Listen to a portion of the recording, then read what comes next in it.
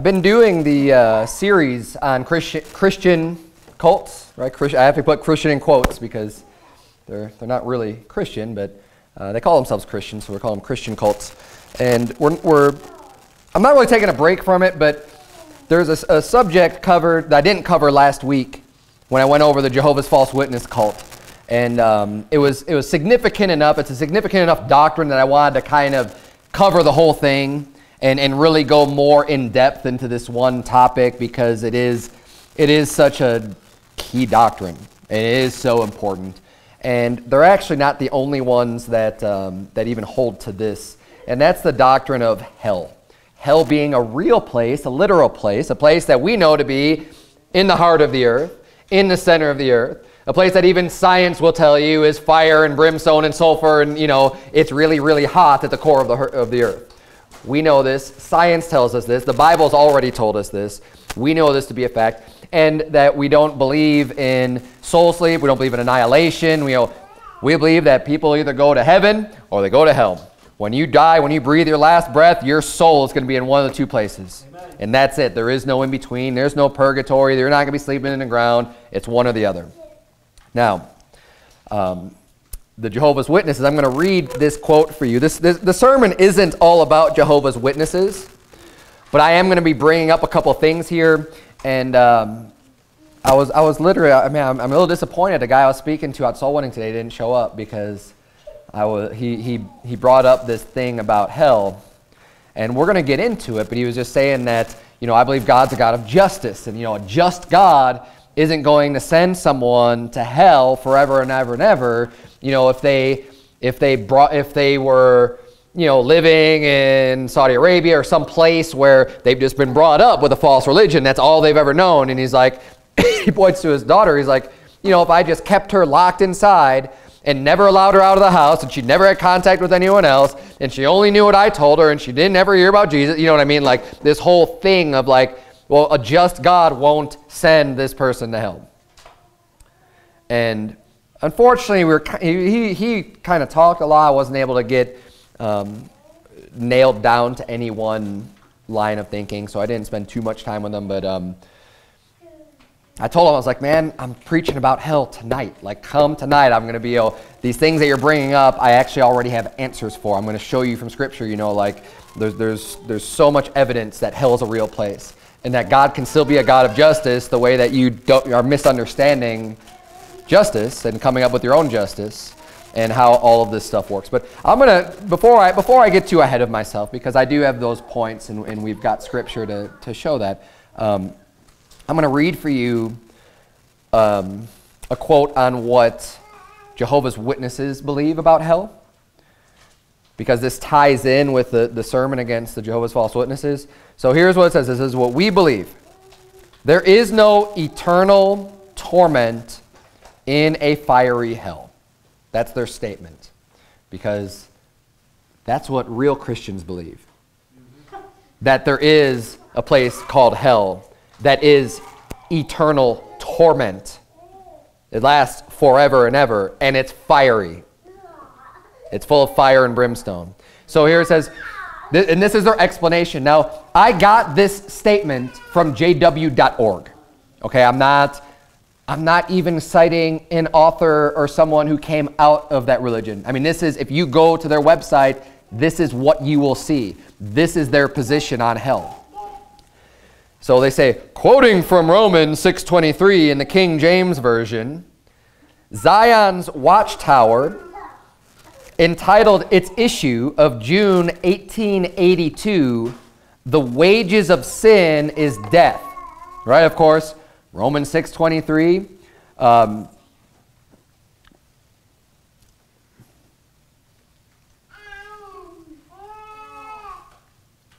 For the wages of sin is death, but the gift of God is eternal life through Jesus Christ our Lord. Sorry about the brain fart.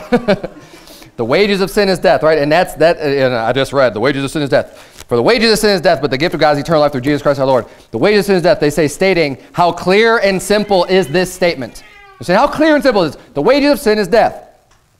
How strange it is that so many who profess to receive the Bible as the Word of God persist in contradicting this positive statement and affirm that they believe and that the Bible teaches that the wages of sin is everlasting life in torment. So what they're, what they're saying is, oh, it's so simple. The wages of sin is death. We're all going to die. And that that's it. And that that's their punishment is that the physical death on this earth is everything, the, the full payment for your sins. That that's it. That it's not an ever, you know, and, and they, they like to use one verse. They don't go through any of the other arguments, right? If you have a disagreement on scripture or something, you say, well, present your side, you know, and, and you say, well, what about this and this and this and this and this and this and this and this and this and this, all the, the times that hell is mentioned in the Bible and, and judgment and, and, you know, everything else. And the wrath of God, God's wrath happens when you have a heart attack. I mean, does that really sound like God's wrath? You know, there's so many things. But they don't go into any of that because they just want to use the one verse See, the wages is death. That's it. And I don't see how I don't see how anyone could possibly think it's everlasting torture or torment. Yeah, you won't be able to see that when you don't read the whole Bible. I mean, or you're just talking to people that want to hear only one thing. And see, this is with Charles Taze Russell. The reason why, one of the reasons why, he, he grew up, and I mentioned this before, he grew up, I think, Presbyterian, which has a perfectly normal understanding of hell being a punishment for sins and he didn't that is the like the big sticking thing with him that he didn't like so as he was searching for basically someone else that can tell him oh yeah we don't believe in hell either he found this uh, Barbour i think his name was was an adventist preacher uh, I believe it was a second Adventist is what they were was what this the group was called that this guy he followed. Like, oh yeah, we don't believe in this either.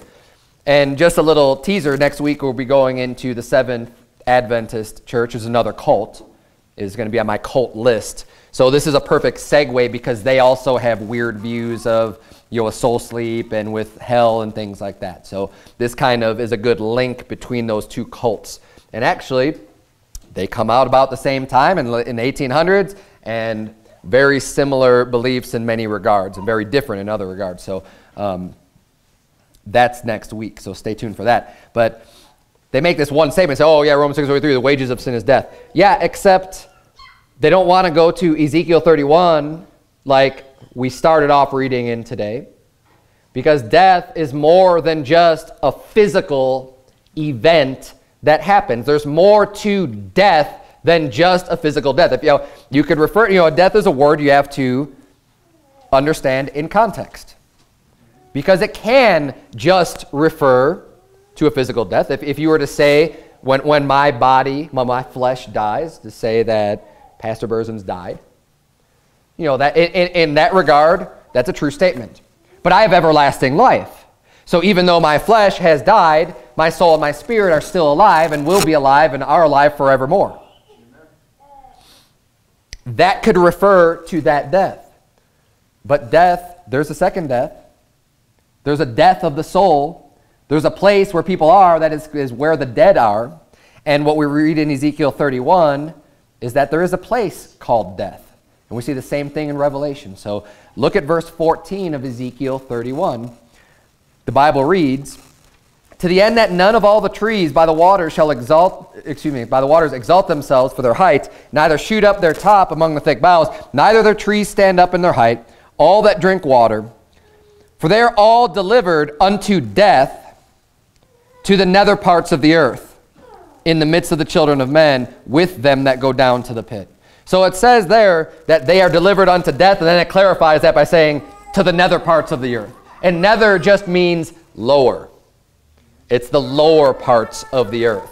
Now, anyone who knows anything about how big the earth is, I mean, even just a real simple understanding, and even, you know what? I don't even care if you believed in a flat earth, which is stupid, anyways. But just science itself of what we know today of people drilling down into the earth and, you know, not coming out the, the end of the, the flat earth or whatever, whatever. I, I don't know how thick they think it is or whatever.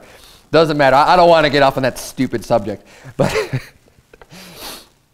But the lower parts of the earth, we know that, you know, science is going to tell you that we have this crust of the earth, which is what we know to be like the ground. And we, you know, when people are buried in the graves six feet under the ground and stuff like that, that is like, that is the surface of the earth. Six feet under the ground is the surface of the earth. With the immense depth of the, of the earth, the deepness, how far you can actually go down, the thousands of feet and miles that just continue to go down, down, down, down, down towards the center, that's really deep.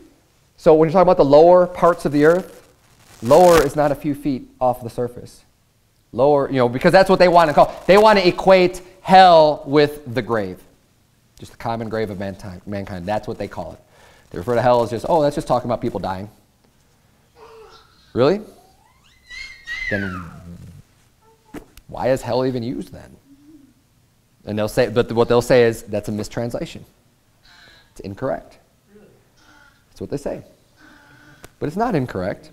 They, and, and I don't know, I don't know if I have it in my notes actually. I don't think I do with Hades and Gehenna and um, you know the different words, the, the foreign words that are used to translate.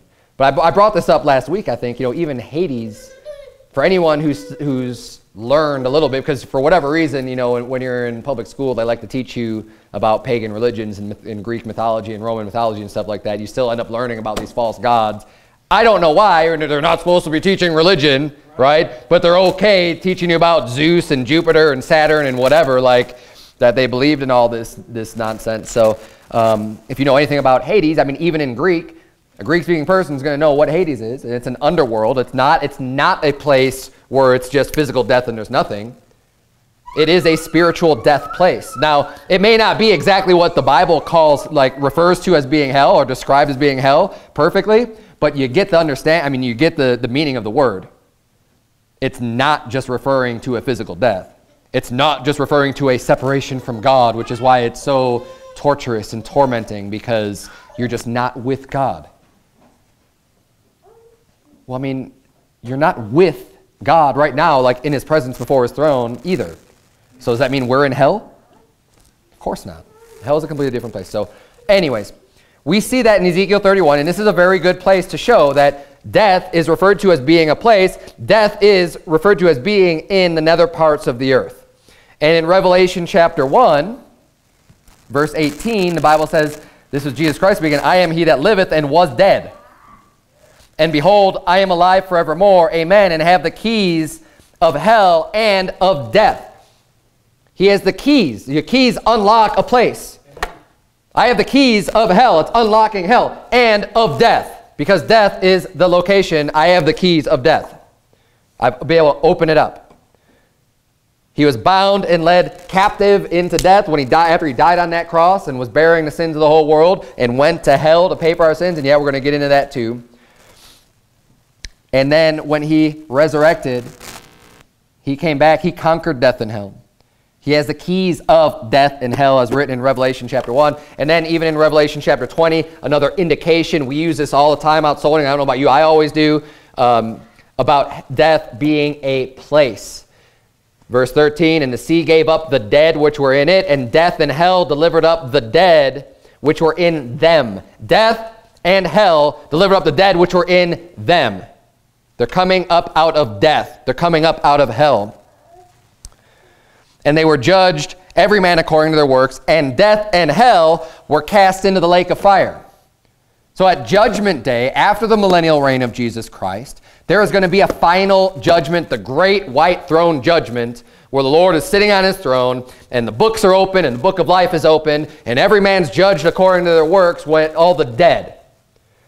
Now, you are not considered dead and won't be standing before that great white throne judgment if you're born again, if you're saved, because you have everlasting life, which is why the, the, the Bible is very clear to say the dead. The sea gave up the dead which were in it. Death and hell gave up the dead which were in them. The dead are referred to as being dead. Jesus Christ said, you know, Abraham, Isaac, and Jacob, you know, Abraham rejoiced to see my day. Abraham's not dead because he's alive, because he has eternal life, because he's in heaven. He's not in his own bosom, he's in heaven.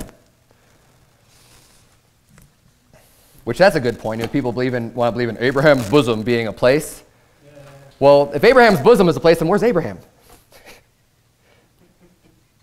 I mean, he's greater than his bosom, isn't he? Is everyone else is inside of Abraham's bosom. Um, I'm just teasing. I, am I'm making fun of a silly doctrine. It's, it really is silly. But um, so we see in a few places that death can be referring to something other than just your physical death on this earth. I mean, we see that very clearly in the language that's being used. Death and hell are cast into the lake of fire. This is a real event. The lake of fire is a real place. Amen. Hell is going to be relocated into the lake of fire. I believe hell and death are synonymous. Hell and death are the same place, and they are both going to be cast into the lake of fire. So when you read verses, and you don't make, don't let this worry you, um, as the lake of fire being a separate place, which it is. The lake of fire is a separate place from hell. But when you read the verses about people being, you know, suffering eternally in hell, well, they are suffering eternally in hell. Just because hell has been relocated to another place that's also fiery doesn't mean that they're not going to be in hell, whether it's you die now and you go to hell, or you get cast into the lake of fire where hell is, you're going to be in hell there too. It's not, it's not, it's not a problem or a contradiction or a reason for concern. You could still be experiencing everlasting hell, you know, with that one moment of being standing before the great white throne and then going right back into hell, which is now located in the, in the lake of fire. Since there's going to be a new heaven and new earth anyway, so hell has to go somewhere. Because the first heaven and first earth are going to be destroyed, they're going to be done away with. So let's see here. Jan, uh,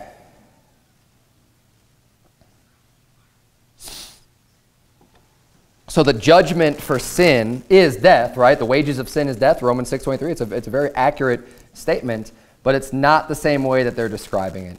Um, it can't be the way that the JWs define it. The concept of a soul and spirit is critical for this understanding also. And remember, we spent a lot of time last week kind of debunking their, and you can't even figure out what their belief is on the soul. Because we read verses out of their New World Translation that said, the blood is the soul, the body is the soul, and the, the life is the soul. Three different things. Completely different things. Because they don't like, you know, the life is in the blood. They say the, you know, and they say the soul is in the blood. And it's, it's these weird statements. We went over that. If you didn't hear that, catch my sermon last week. I'm not going to repreach all of that. But I think one of the reasons they also have to do that is because of all the verses that talk about your soul being tortured and tormented in hell. In Genesis chapter 2, turn if you would to. Um, man, I got so many verses. I'm going to be flying through most of these. Turn if you would to Hosea 9. Turn if you would to Hosea 9. I'm going to read for you from Genesis chapter 2. Genesis chapter 2, of course, we have God placing Adam and Eve in the Garden of Eden. Right? And he gives them one commandment. He says, you know, of all the trees of the garden you could freely eat, but of the tree of the knowledge of good and evil that thou mayest not eat. You can't eat that one tree. And um, of course, Satan deceives Eve. Eve eats. Then Adam also eats, and you know the curse comes. But here's what God said when He gave them that commandment. In Genesis 2:16, the Bible says, "And the Lord God commanded the man, saying, Of every tree of the garden thou mayest freely eat, but of the tree of the knowledge of good and evil thou shalt not eat of it. For in the day that thou eatest thereof, thou shalt surely die." Now, when God makes a statement like that, do you think he's just going to be wrong? Or do you think he's going to be meaning something else? No, he's, you know, when God said, the day, the day that you eat of that tree, you will surely die. Now, Satan tried to tell them, You're not surely going to die, and cast doubt on God's word. Now, did Adam and Eve die physically when they ate of the fruit? No. There is no record of that in the Bible. They didn't fall down dead and, well, they're dead. That's death. See, that's the wages of their sin. They physically died and that's it and they're gone. No. That wasn't the wage of their sin. Actually, now, did they die? You better believe they died. But it wasn't a physical death. What was it? Spiritual death. Which is why we need to be born again. That's why we need to have the spiritual birth. As Jesus said in John chapter 3, so that we're born again, so we could have life, so we could have eternal life through Jesus Christ our Lord. And the eternal life that he's talking about also is not this flesh. Now, this flesh will be changed, but it's not this body that's just this flesh to just live forever on this earth. We receive eternal life the moment we believe because our spirit is born again, because that's our spirit that died the moment we sinned. The Apostle Paul wrote, you know, I was alive once without the law. But when the law came, sin revived and I died. Basically describing that whatever, whenever you get to, it, to the age of accountability, and again, I'm not going to go into detail on that. No one knows exactly when that happens for each person. Doesn't matter. There is a point in everybody's life where God's going to hold you responsible to understand right from wrong and understand that there's a law and understand that there's a God and understand that you're sinning against God. Very simply. Romans chapter 1 explains how creation even shows us that, you know, we're without excuse because the creation shows God who he is and we are without excuse. So he's given us enough. And not only that, I mean, he's given us so much more than creation. He's, he's given us a light. He's given us his word. He's given us people that are already saved to go out and preach the word. You know, I mean, there, there's so many things. But regardless, I digress. Um, they did definitely die, but it wasn't a physical death. It was a spiritual death. And the day that his spirit died, his soul was doomed. That was the wages of Adam's sin. Now, the question comes up, and this is what you'll frequently hear when you speak to Jehovah's Witnesses or anyone else who doesn't like the concept of hell is they'll say, would a loving God send anyone to hell? That's always a big thing. They'll say, well, God is love. And they like to quote that from 1 John 4, 8. He that loveth not knoweth not God, for God is love. That's the verse. And that's what they're saying. Well, God is love. And would a loving God send anyone to hell? Yeah, actually, loving God would. And, um, but he's not loving the person that he's sending to hell. Just because God is love doesn't mean he loves everybody. God, you know, can be described as love. God has love. God is love. But it doesn't mean that that is applied to every single person all the time. Um, would that mean then if God is love in, in the way that they want to present it? And, and, and think about these things and remember these things because someone comes to you with this and, you, and they're, they're willing to have a discussion, like I've mentioned previously, the whole point of going through most of these exercises and pointing out the cults is so that we can speak to them and give them the gospel and get them saved. And try to reason with them and show them from Scripture why they're wrong. But if you think about this, if someone wants to give you that, well, God is love, so hell can't be real. You say, well, then just because God is love, does that mean he doesn't have wrath? Is there no anger? Is there no wrath with God? Because that is extremely easy to show wrong if someone wants to say, well, because God is love, there is no anger, there is no wrath, there is no judgment. False. You can have the statement, God is love, and still have a God that has wrath and anger. They're not two opposing. It's not a contradiction. Whether you can understand it or not, there is a wrath to come. Romans 5 8 says, But God commendeth his love toward us, and that while we were yet sinners, Christ died for us. Sound familiar, right? Another verse. I know I typically use out soul winning quite a bit. But then verse 9 says, Much more than being now justified by his blood, we shall be saved from wrath through him. God has a wrath. I mean, John 3 36. Right? He that believeth on the Son hath everlasting life. He that believeth not the Son hath not, hath not life, but the wrath of God abideth on him. The wrath of God. God's anger. 1 Thessalonians 1:10 says and to wait for his son from heaven whom he raised from the dead even Jesus which delivered us from the wrath to come. Is God love? Yes. Does God have wrath? Yes. And you have to ask yourself does it even make sense to say, "Oh, we're delivered from the wrath to come, the extreme anger of God." And that extreme anger is only found in our physical death that everybody experiences. Again, that can't be true if it's just delivering us from our physical death, because everyone dies, even believers. I mean, even Jehovah's Witnesses physically die. Were they delivered from the wrath to come? Now, again, they, they want to, and this is, this is you, you get a little bit of an insight as to why they have to come up with even weirder and weirder doctrines.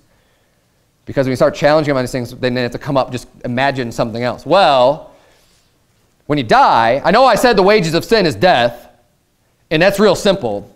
But when you die, you're actually, your soul, you're just asleep. You're just unconscious until that final judgment, which then is the wrath of God. And then you're just completely annihilated and destroyed and cease to exist. Wait a minute. So am I made conscious again and then made unconscious again? And that's the wrath of God? Why would he have to, to bring me up out of my sleep to put me back into sleep again? I mean, it makes no sense. Oh, but this time it's forever. Okay, I had no idea that it wasn't forever when I was asleep because according to them, when you die, there is just, there's no consciousness, there's no soul, there's nothing going on. So what's the point? The point is they're trying to fit, make something fit in Scripture that doesn't, that's not there. They're trying to just come up with a, with a way to explain things away, and it doesn't work.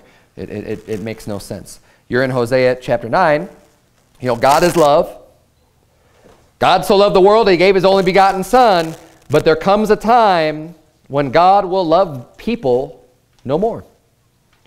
And we find this exact phrase in Hosea 9. Look at verse number 15. The Bible says, All their wickedness is in Gilgal, for there I hated them. God's love he doesn't hate. For there I hated them. For the wickedness of their doings I will drive them out of mine house. I will love them no more.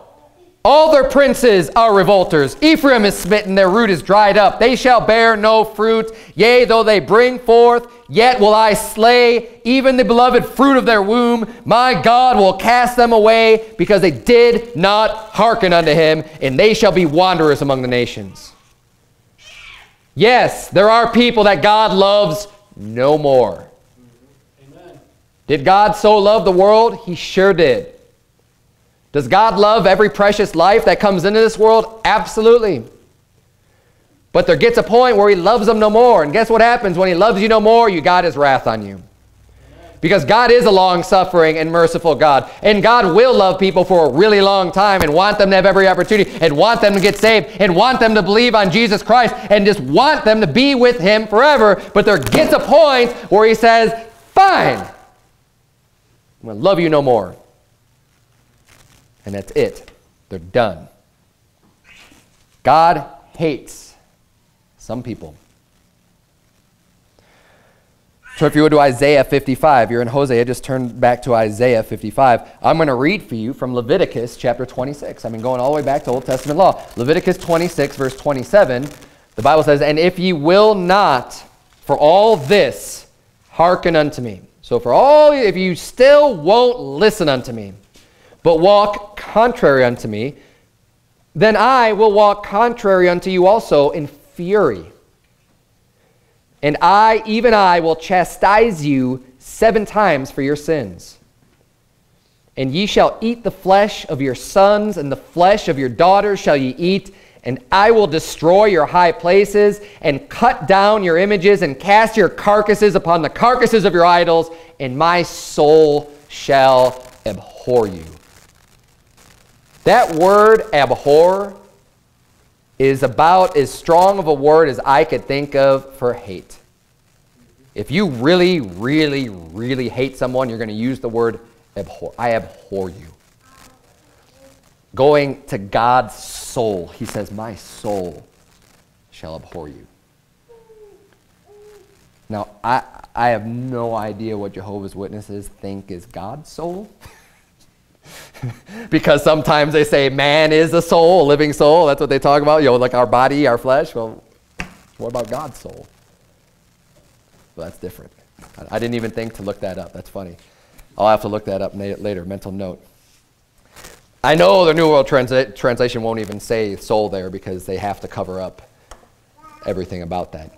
But no, God hates.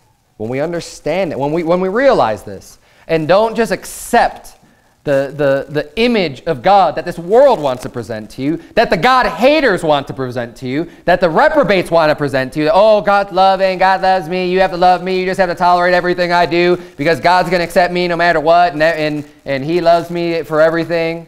And coming up with their own God and, and want to, to, to just wallow in their filth and, and promote their wickedness and get you to accept and get you to call good evil and evil good. They made up their own God. It's not the God of the Bible. You're in Isaiah chapter 55. How is it justice, is what they'll say. How is it justice for a person to be tortured and tormented forever and ever and ever for something they did one time? And this is that com- another common argument. They say, well, so if I just told one lie, I deserve to be punished? I mean, forever and ever and ever? And this is this was kind of more to the point that the, the guy I was talking to today was going with that is like he was saying like how would that be justice? Because we think of like, you know, if you if you commit a crime, there is a punishment associated with that. And of course, we know that there's bigger crimes and worse crimes. There's big sins, there's little sins, right? And we know this, and, and, I, and you can't deny it. All sin is not equal. All sin is not the same. There's definitely categories of sin. There's big sins, worse sins. But God's judgment on that sin is still just. It's still right. There's still equity there. See, when we deal with, with people breaking laws on this earth, we have a certain sense of justice. We should. I mean, the Bible, God's given us that sense of justice of how we deal with people for crimes that are committed in this lifetime on this earth between people. The law that God's established, where we, we commit crimes against one another, whether it be stealing, you know, theft, whether it be um, adultery, whether it be rape, kidnapping, whatever, right? any of the laws where people are transgressing against someone else, that is mankind sinning against mankind and He's given us what's just between us. That is not the exact same justice that goes between us and God, between us and the Creator. When we sin against God, we are breaking His rules and His commandments, and He determines what is right and what is wrong. And just because you may not understand why, if you were to just tell one lie in this lifetime, that God would send you to a place of eternal torture and torment. It doesn't mean that that's not the way that God made things. So here's the thing with God God makes up all of the rules. And either the Holy Bible is the Word of God or it's not. If this is not the Word of God, we've got a really miserable existence. Because if this is not the Word of God, then there is no God. But this is the Word of God. We know that this is the Word of God. And if this is the Word of God, then we just have to look at these words and understand who God is. Not try to make God fit our image of who He should be, but who is He? In Isaiah chapter 55, look at verse number 6. The Bible says, Seek ye the Lord while he may be found. Call ye upon him while he is near. Let the wicked forsake his way, and the unrighteous man his thoughts. And let him return unto the Lord, and he will have mercy upon him, and to our God, for he will abundantly pardon. Verse 8 For my thoughts are not your thoughts, neither are your ways my ways, saith the Lord. For as the heavens are higher than the earth, so are my ways higher than your ways, and my thoughts than your thoughts. God understands way more than we do, and knowing and understanding a proper balance and equity in judgment. He knows way more than we do. And this is what, you know, people have the hard time understanding. How could a God send someone to hell forever and ever and ever and ever after doing only one thing? But they don't seem to have a hard time then balancing the scales on the other side of saying, well, how can a just God offer forgiveness? And just pardon, like he says here, have mercy upon and abundantly pardon.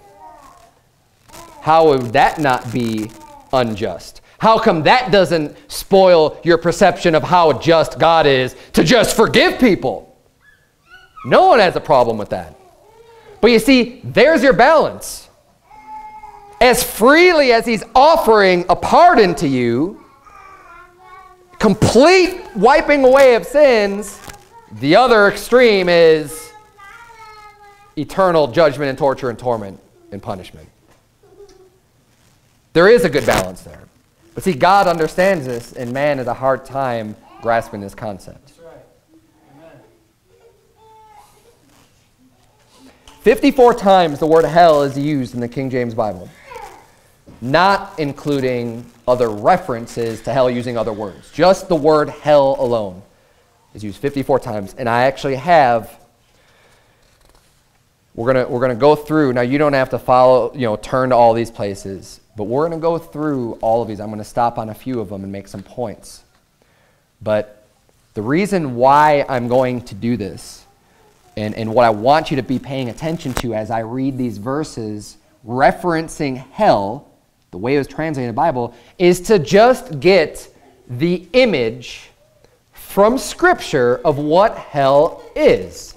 Because the people who don't want to believe it's a place of eternal torture and torment and judgment want to tell you that hell is not really hell. They want to tell you that it's something else, that it's some other event, that it's not really a, fiery burning place in the middle of the earth. But we're going to read what the Bible just says about hell and then form our opinion and our understanding of what is hell.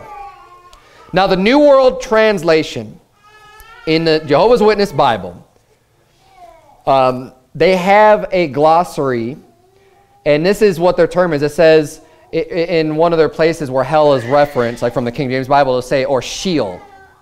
Sheol. And they say that that is just, it says, or Sheol, that is the common grave of mankind. They define the term Sheol, which the King James Bible will use usually the word hell to describe, as translating that. They say, well, that just means a common grave. Just the, just, just the fact that eh, everybody's going to die. We're all just going to go to the grave. That's their definition. So here's their definition of grave. It says, when lowercase, referring to an individual grave. When capitalized, so in their New World Translation, grave is either going to be capitalized or lowercase. So if it's lowercase, it just means it's talking about someone's specific grave, right? Like Abraham buried his wife in a grave at Mamre, right? That would be a lowercase g.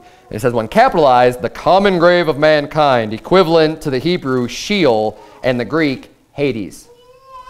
It is described in the Bible as a symbolic place or condition wherein all activity and consciousness cease. So it's telling you that this is what it's just it's just a symbolic place. It's not a real place, it's symbolic. And what it what it represents is a condition wherein all activity and consciousness cease. There's no consciousness. Okay? Remember that. They're saying hell is a place where there's no consciousness and no activity. We're going to read some verses where it sounds a little bit more like there's activity and consciousness in hell. And they reference some verses. I'm not going to take the time tonight because uh, I'm already way over time as far as what I want to cover tonight and, and hit and, and refute these passages. But if you want to look them up later, they're Genesis 47.30, Ecclesiastes 9.10, and Acts 2.31. Yes, Acts 2.31. We're going to look at Acts. They, they really literally think that Acts 2 somehow supports their notion that it's a symbolic place where an all activity and consciousness cease.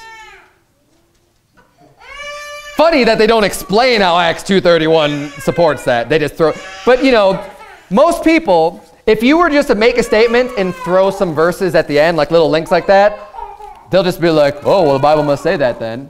Because they're, using, they're using Bible to support their argument, so it must just say that. And people just, just blindly accept that instead of actually going to the verses and be like, what does this verse really say? Does it say what they're claiming it says? Uh, no, it doesn't. Ask someone that speaks Greek if the word Hades is just referring to the common grave of mankind. Let, let me know how that goes. JWs play on ignorance, especially in their translation. They play on people's ignorance. They, they use the Greek and Hebrew words to confuse people instead of even allowing the context to provide the meaning. So they just want to tell you what this means. Say, oh, Sheol, Hades, Gehenna right? They use these foreign words that is not common to an English-speaking person, and then just says, well, that's what these words mean. Whereas the King James Bible uses the word hell. Why? Because English-speaking people understand what the word means, and that is the translation for those words. It's hell. And you could even get this from the context. So I'm gonna, you, you don't have to follow along. I'm gonna, I'm gonna cite each reference and I'm gonna try to read it really quickly because there's so much here. Deuteronomy 32, 22. For a, fire is kindled in mine anger and shall burn unto the lowest hell and shall consume the earth with her increase and set on fire the foundations of the mountains. See if you can kind of catch uh, some consistencies here about what hell is like. 2 Samuel 22, 6. The sorrows of hell compassed me about. The snares of death prevented me. Job 11, 8. It is as high as heaven. What canst thou do? Deeper than hell. What canst thou know? And you're going to find this contrast between heaven and hell over and over and over again in the 54 references to hell. And guess what? Heaven is always up, higher than, above, into heaven. Hell is always going to be low, lower, into the deep, into the pit. That's hell. It's low, it's down. Heaven up, hell down. I know this is really difficult to grasp. Job 26, 6. Hell is naked before him, and destruction hath no covering. See, they'll like a verse like that. Just, see, hell is just destruction, and you're just destroyed, and you see it's this. Well, no, let's keep reading. Let's take the whole. Psalm 9:17. The wicked shall be turned into hell, and all the nations that forget God. Psalm 16:10. For thou wilt not leave my soul in hell, neither wilt thou suffer thine holy one to see corruption. We'll go over this verse when we get to Acts. Psalm 18:5. The sorrows of hell compassed me about. The snares of death prevented me. Again, this association between hell and death. And hell, and hell being a place of sorrow. Psalm 55, yeah. But there's no activity or consciousness. But it's, it's sorrowful. Psalm 55, 15. Let death seize upon them and let them go down quick, go down quick into hell. For wickedness is in their dwellings and among them. Psalm 86, 13. For great is thy mercy toward me, and thou hast delivered my soul from the lowest hell. Psalm 116, 3. The sorrows of death compassed me, and the pains of hell gat hold upon me. I found trouble and sorrow. Psalm 139, 8. If I ascend up into heaven, thou art there.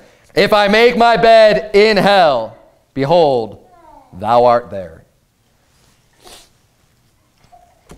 Proverbs 5 5. Her feet go down to death, her steps take hold on hell. Proverbs 7:27 Her house is the way to hell, going down to the chambers of death.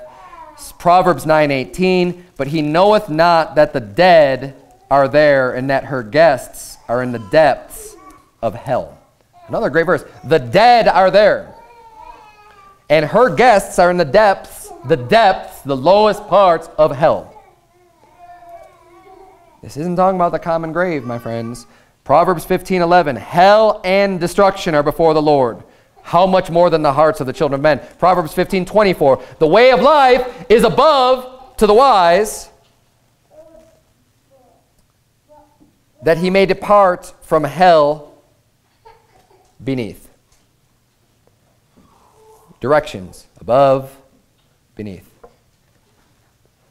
Proverbs 23 14. But I, I just don't know where they might come up with this idea that the wages of sin is eternal punishment. I don't, I don't know where that would come. I mean, it's just death. I mean, it's a common grave. People just die.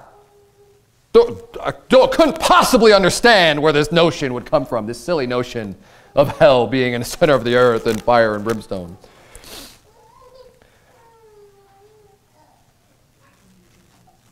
Proverbs 23 14, thou shalt beat him with the rod and shalt deliver his soul from hell. If this is just a common grave, how can anyone be delivered? Deliver his soul from hell. How can you be delivered? Everybody dies. Oh, it's just a common grave. Bible says some people are delivered from hell. If it's just a common grave, then that means there's some people that never go to the common grave. Wait a minute.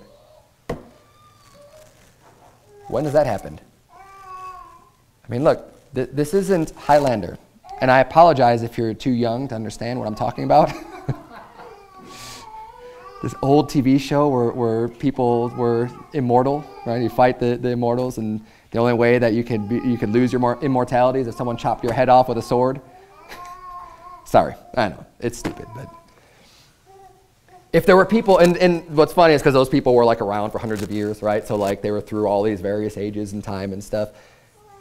Well, if hell was a common grave and we could be delivered from hell, then you'd have people like that walking on this earth. oh yeah, I've been around since the times of Jesus. I mean, I'm delivered from hell, right? Hell's just a common grave. No, because hell's not just a common grave. Proverbs 27 20, hell and destruction are never full, so the eyes of man are never satisfied. Isaiah 5 14, therefore hell hath enlarged herself. Talking about a place getting bigger. The common grave has enlarged herself. I mean, if it's the common grave, it's going to be the same size. Hell has enlarged herself and opened her mouth without measure, and their glory and their multitude and their pomp, and he that rejoiceth shall descend into it. Isaiah 14, 9. Hell from beneath is moved for thee to meet thee at thy coming. It stirreth up the dead for thee, even all the chief ones of the earth. It hath raised up from their thrones all the kings of the nations. Isaiah 14, 15. Yet thou shalt be brought down to hell, to the sides of the pit. Now, what's a pit? What's a pit? It's core, right? We, we, we typically understand a pit when we think about fruit. There's some fruits that have pits. Peaches have a little pit inside, right? At the where is that? Right in the middle. Is it right on the surface when you start to get the skin off of a, of a peach, you know, the little furry skin? Is that, is that where you find the pit? No, of course, the pit's in the center. Or you could think of a pit as someone who digs a hole, right? And you have a big pit. Now, hell is referred to, and I don't know if we're, I'm not, I know I'm not going to have time to get into this. Hell is referred to as the bottomless pit. And again, that makes sense because the earth is a sphere. Amen. I know this is very, very hard to understand these days. The earth is a sphere or a ball. If you want to bring it down to the level of a child, it's a ball. Okay, I know people love to throw that term around. It's a ball. We live on a ball. And there is a force acting upon us that is preventing us from, if I just jumped up, I don't just keep on going. I come back down to the earth. pay attention, kids. You'll learn something here. Okay? Or if I take my bottle of water and let go, it goes down to the ground, right? Guess what? This same force is upon everyone on the world, no matter where you are on the globe. So if you have a big circle, I wish I had a, a board right now, draw a big circle. You have a force You'd have arrows pointing in all the way around, pointing down to the earth, right? And all of those arrows are going to meet right in the center where there's a pit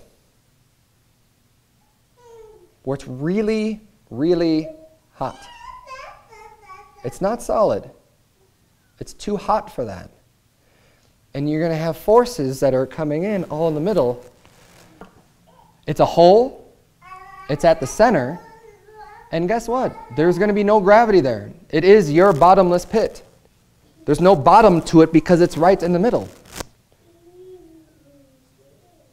I don't know what's so hard to understand about that. Let's keep reading. I don't want to spend I don't want to spend all day and, and, and just have the flat earthers just really blow up the, the, the video when, when we post this up online. They're already going to have a field day with it. Let's see, where was I now? Down to hell. Yeah, we, we, there's so many of these. We were in Isaiah, right? Did we get past Isaiah yet? Uh, all right, I'm just going to pick up reading here. Isaiah 28 15. Because ye have said, We have made a covenant with death, and with hell are we at agreement. When the overflowing scourge shall pass through, it shall not come unto us, for we have made lies our refuge, and under falsehood have we hid ourselves. I'm going to try to get through a lot of these, like I said. I, I want to make it a point, though, to read every single reference. We're going to read every single reference and, and just get the full picture of what hell is. Isaiah 28, 18, and your covenant with death shall be annulled, and your agreement with hell shall not stand. When the overflowing scourge shall pass through, then you shall be trodden down by it. Isaiah 57, 9, and thou wentest to the king with ointment, and didst increase thy perfumes, and didst send thy messengers far off, and didst debase thyself even unto hell. Ezekiel 31, 16, I made the nations to shake at the sound of his fall, when I cast him down to hell with them that descend into the pit, and all the trees of Eden, the choice and the best of Lebanon, all that drink water shall be comforted in the nether parts of the earth. And then verse 17, they also went down into hell with him unto them that be slain with the sword. And they that are, were his arm, that dwelt under a shadow in the midst of the heathen. Again, down into hell. Ezekiel 32 21. The strong among the mighty shall speak to him out of the midst of hell with them that help him. They are gone down, they lie uncircumcised, laid by the sword. Well, wait a minute. All activity and consciousness cease in the common grave. Ezekiel 32 21 says, The strong among the mighty shall speak to him out of the midst of hell. But there's no speaking or activity in the common grave. Sorry to confuse you with the Bible. Let me. Ezekiel 32, 21, the strong the, among the mighty shall speak to him out of the midst of the hell. Why? Because there is consciousness. Why? Because the people are not just going to be speaking, they're going to be wailing and moaning in terror and in pain, and it's going to be dark, and it's going to be a horrible place.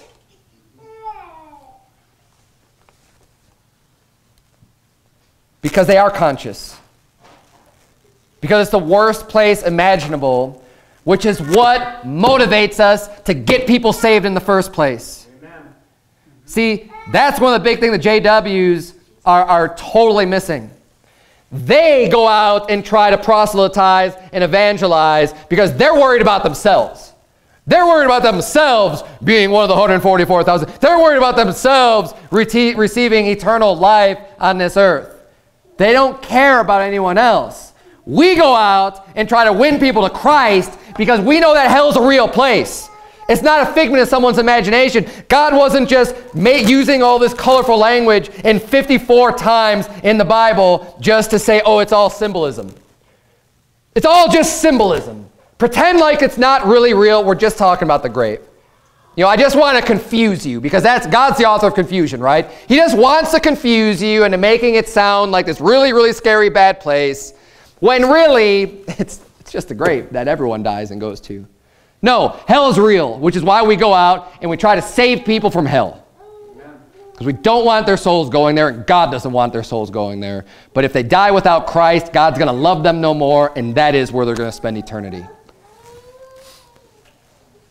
Ezekiel 32, 27, and they shall not lie with the mighty that are fallen of the uncircumcised, which are gone down to hell with their weapons of war. And they have laid their swords under their heads, but their iniquity shall be upon their bones. Though they were the terror of the mighty in the land of the living. Amos 9, 2, though they dig into hell, thence shall mine hand take them up. Though they climb up to heaven, thence will I bring them down. If digging into hell just means six feet under the earth, then climbing up into heaven would just mean climbing a tree. Do you think that's what this verse is talking about? I don't think so.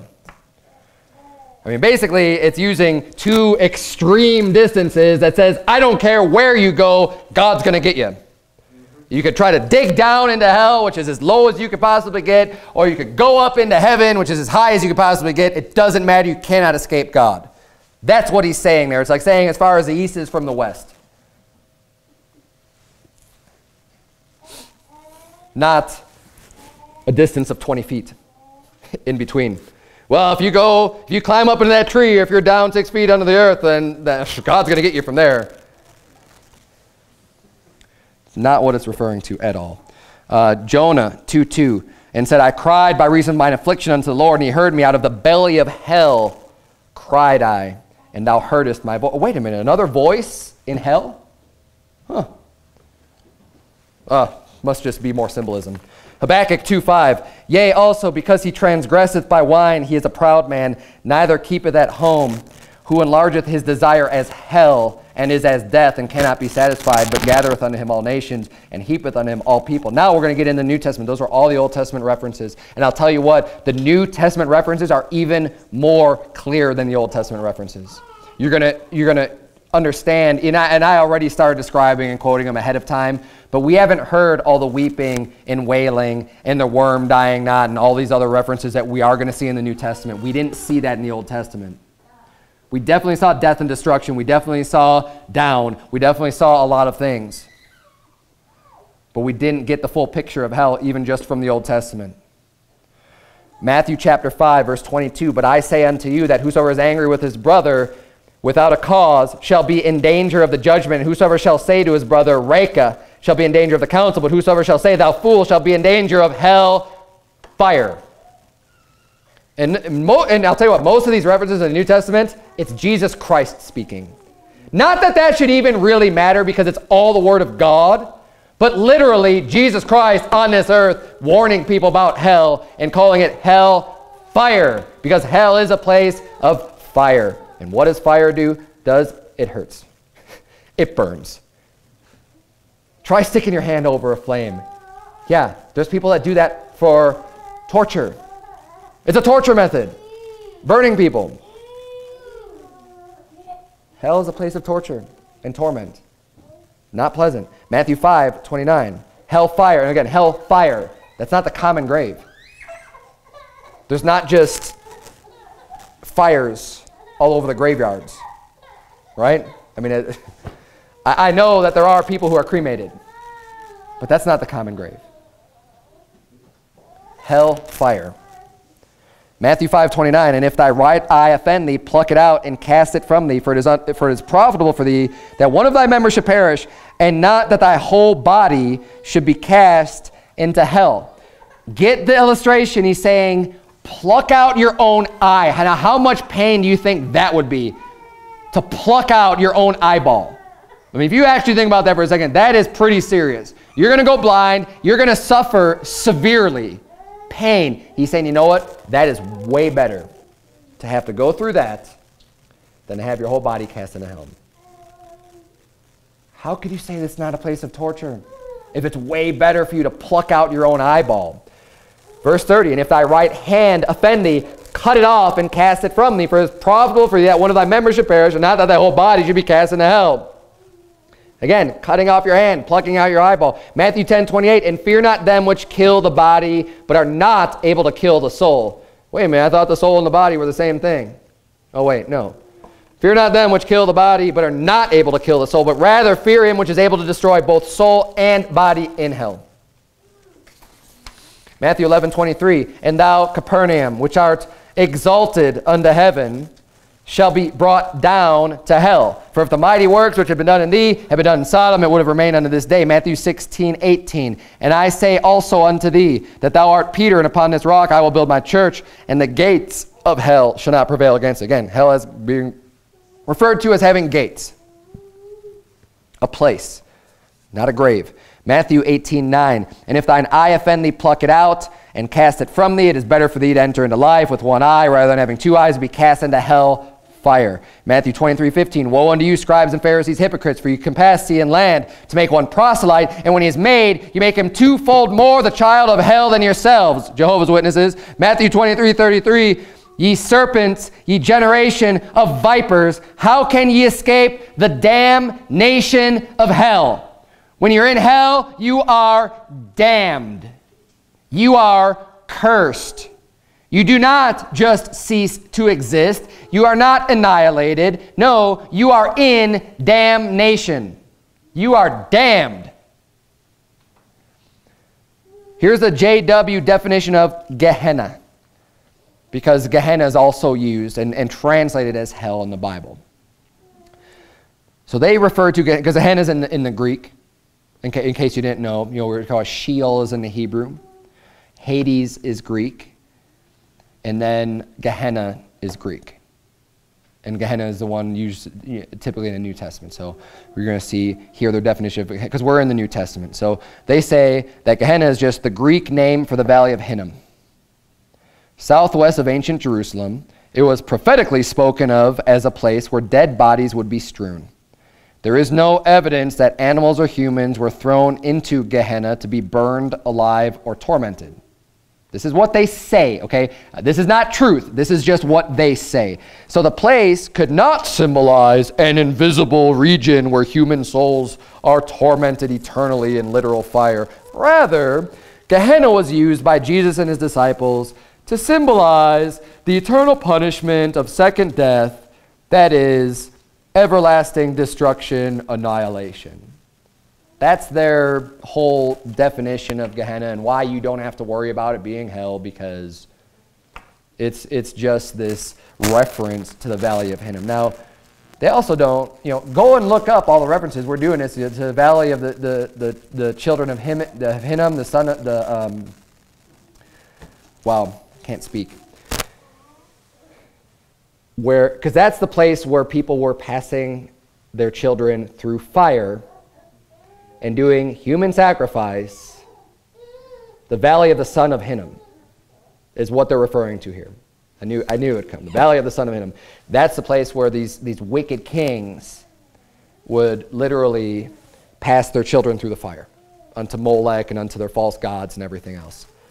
So even if you're going to say that that's referring to this place, well, what are they doing in that place? They're literally burning their children through fire. It is a place. I mean, scripturally speaking and defined in the Bible of what this place was, it was a place where people are being burned alive.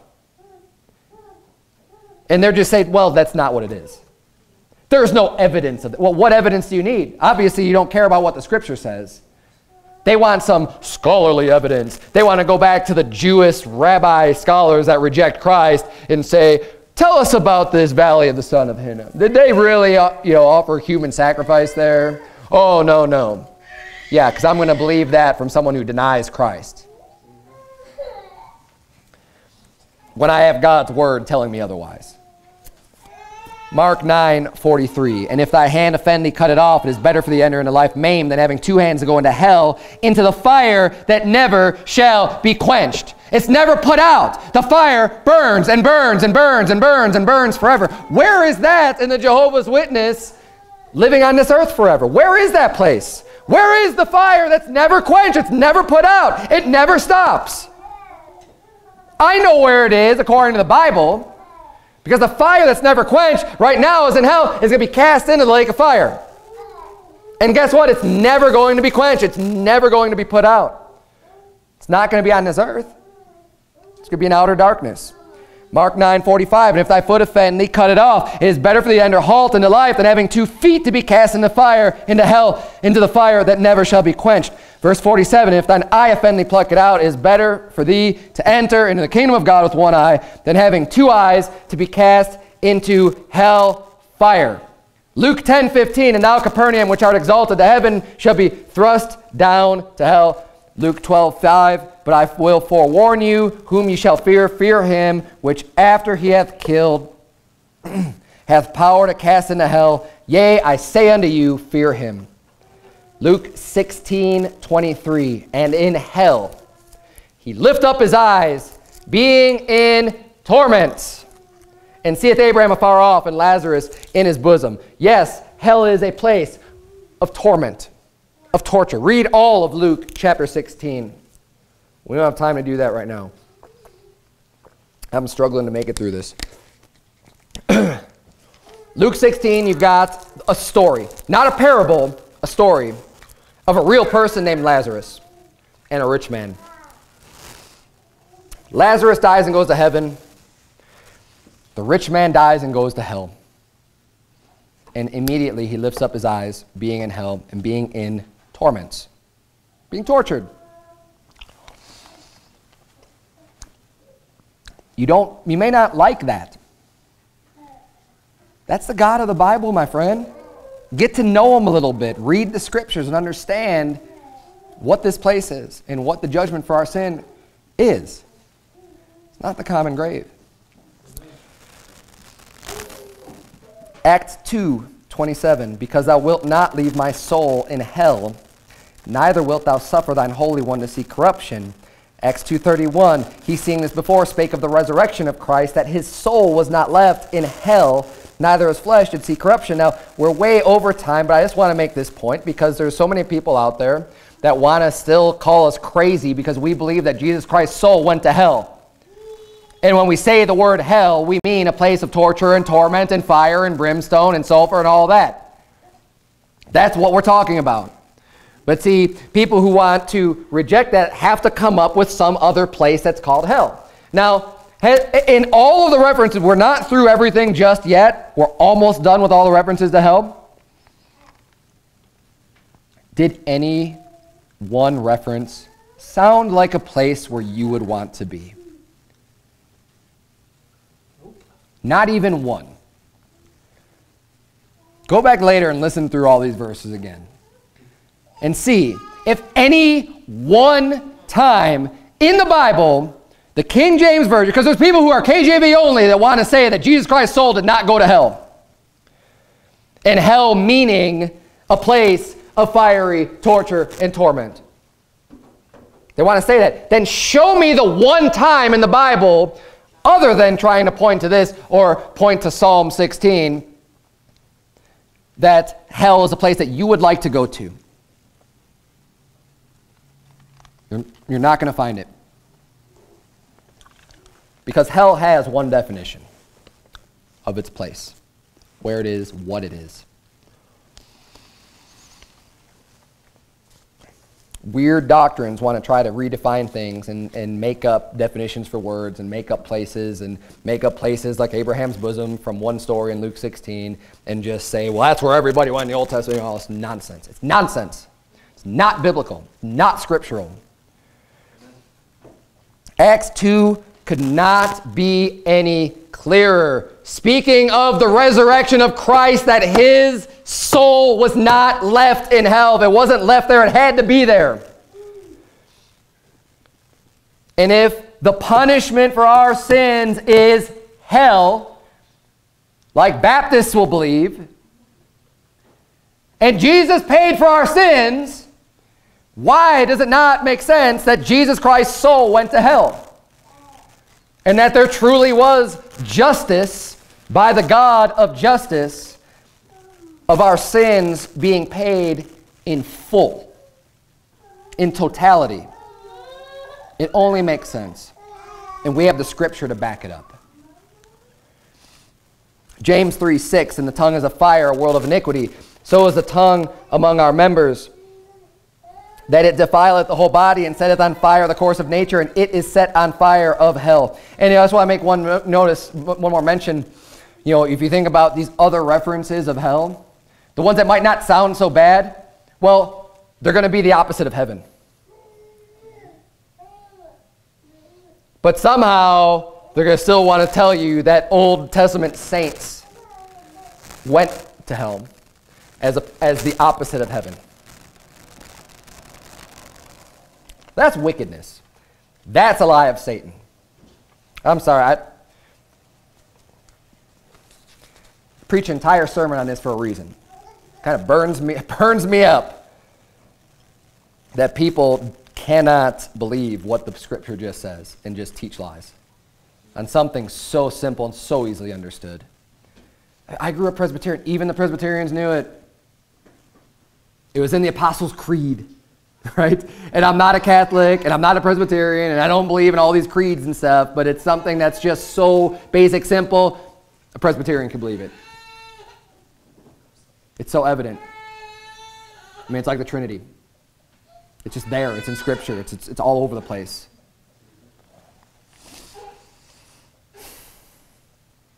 Second Peter 2 4. For if God spared not the angels that sinned, but cast them down to hell, and delivered them into chains of darkness to preserve unto judgment, that doesn't sound like a good place either.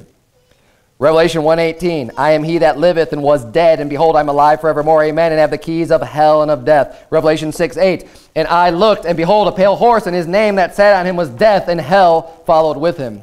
Oh there's the Old Testament saints following death. Oh wait. No, that's not it either. And power was given unto them over the fourth part of the earth to kill with sword and with hunger and with death and with the beasts of the earth. Revelation 20:13, the sea gave up the dead which were in it, and death and hell delivered up the dead which were in them, and they were judged every man according to their works. Revelation 20:14, and death and hell were cast into the lake of fire. This is the second death. That is the last reference in the Bible of the word hell. And it makes sense that the most descriptive references to hell are found in Revelation, the book dealing explicitly with the judgment of God, talking about the events that are happening with the judgment of God, and being, you know, lake of fire. Revelation 14 is the last place I'll look at, and, and I've got so many more notes, but um, all right, I'm just going to have to, I'll go through as much as I can. Revelation 14 9, referring to hell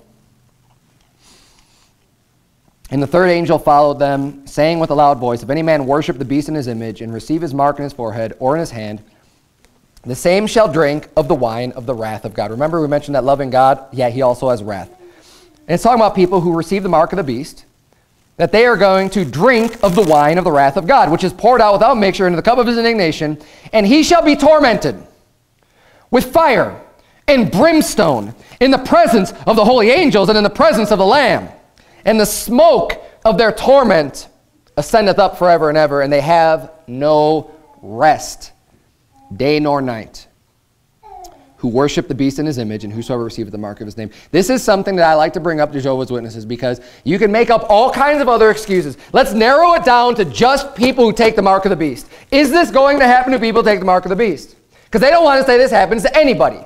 And fine, let's just say what this actually says right here is if someone takes the mark of the beast, are they going to be tormented day and night forever and ever and have no rest? Is that a true statement or not? Well, it's all just figurative. Yeah, you can you just can say that the Bible is figurative all you want, and it doesn't make it so.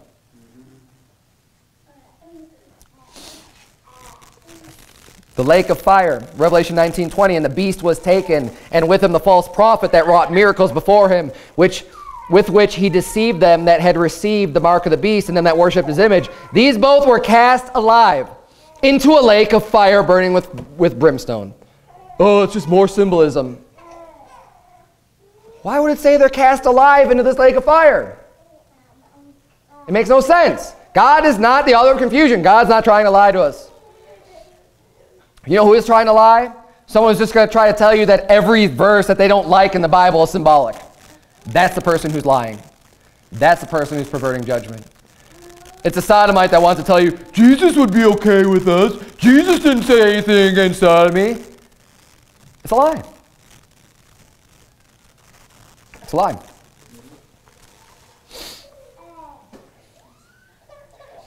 The Jehovah's Witnesses will tell you that the beast and the false prophet are just symbolic. I read this from their literature. I read this from their website, from jw.org. They'll tell you that they're just symbolic. So then that would also imply if, if the beast and the false prophet are symbolic, stay with me now. If they're symbolic, then people taking the mark of the beast is symbolic? I mean, it would have to be, because how could you take the mark of the beast if the beast is symbolic? What would that mark be? Well, it's just symbolic. Oh, okay, so then people taking the mark of the beast is symbolic. And I guess the performing of miracles to deceive people, taking the mark of the beast, that's also symbolic. So at the end of the day, when you're looking at the book of Re Re Revelation, you could just say the entire book is symbolic and we don't have to answer any of these questions because it's just all symbolism. But it's the revealing, it's the revelation. Nonsense! And, and I, I pray and I hope that if a Jehovah's Witness ever watches this sermon, that they can, with a pure heart, just look it up for themselves and, and, under, and just and, and be willing to just want to know the truth and just be able to accept what the Bible says for what it says and not try to explain away every verse that you don't like. Just believe it. If it's God's word, just believe it. Just receive it.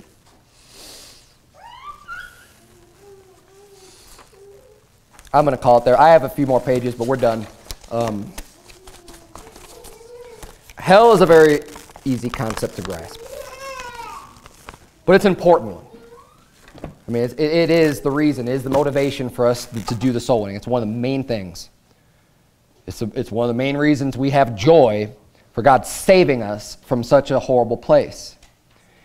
It is real, it exists. God is a God of justice. It doesn't mean He's not loving, it doesn't mean He's not merciful, but it is real, and it is a place where people are going to be cast into and spend all of eternity consciously being tortured and tormented, where there's wailing and gnashing of teeth. And I didn't even get into those verses because they didn't specifically use the word hell, or they were in between verses that used the word hell. I didn't even include that because we're already at like an hour and 20 minutes into this sermon, so I got to cut it off somewhere. I think you understand hell's real, and that's not a good place to be.